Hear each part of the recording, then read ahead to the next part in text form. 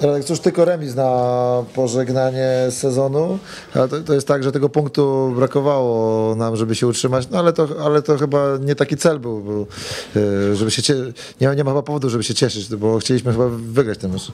No chcieliśmy wygrać ten mecz, ale dobry przeciwnik dzisiaj e, postawił nam trudne warunki i, i, i remis.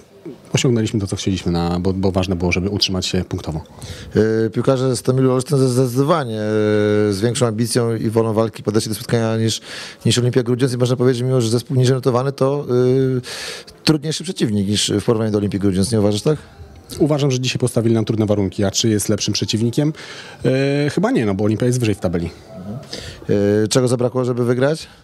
Skuteczności? Co zrobił Patryk Szymański w końcówce?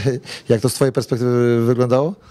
No nie trafił w bramkę, no, no oczywiste, no wszyscy to widzieliśmy. No, mógł się lepiej zachować, bo to była super sytuacja do, do strzelenia bramki, ale, ale popełnił błąd i, i, i nie strzelił, bo to była naprawdę dobra sytuacja. Przed wami jeszcze ostatni mecz w Tychach, już, już praktycznie bez, no nie praktycznie tylko naprawdę bez stawki. Y, Trudno mo- zmotywować się na takie spotkania, czy, czy podejdziecie do tego meczu normalnie, tak jak do każdego? Normalnie, normalnie, normalnie. To jak zawód, co, co weekend do pracy trzeba przyjść i, i, i grać jak najlepiej. Y, Jesteś tego rozczarowany y, pozycją w tabeli na koniec sezonu?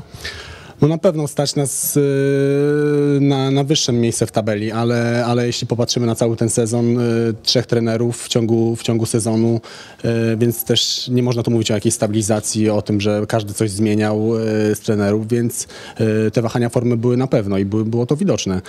Mm, Postaramy się powalczyć w przyszłym sezonie o to, żeby, żeby mieć była zdecydowanie wyżej w tabeli, a, a jak to będzie? Będziemy się starać z całych sił. Dziękujemy.